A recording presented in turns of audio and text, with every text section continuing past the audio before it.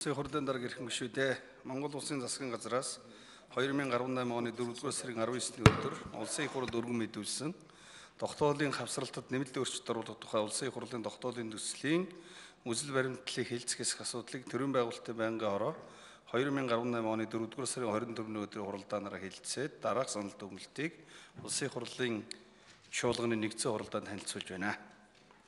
Оюуны өмчин газар болон улсын бүртгэлийн ерөнхий газрыг бие даан байгуулснаар Монгол улс олон улсын гэрээр хүлээсэн үүргээ бүрэн биелүүлэх, Монгол улсын үндсэн хууль заасан оюуны өмчин эрхүүдийг баталгаатай эдлүүлэх, иргэний оюуны бүтээл тойрох, үр шимийнх нь хүртэх үндсэн эрх бүрэн хангах боломжтой гэж хууль санаачлагчид хууль санаачлагч үзжээ. Байнгын орны хуралдаанаар төслийг хэлцэхэд улсын их хурлын гишүүд асуулт асуулж хариулт авсан болно.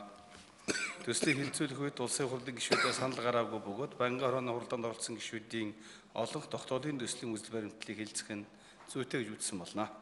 Улсын хурлын эрхэм гишүүдээ тогтоолын хавсралтад нэмэлт өөрчлөлт оруулах тухай улсын хурлын тогтоолын төслийн үзэл баримтлалыг хэлцэх хэсэг талаарх төрийн байгуулалтын Бангийн хорооны санал дүгнэлтийг хилцэн шийдвэрлэж өгөхийг та бүхнээс хүсье. Анхаарал тавьсанд баярлалаа.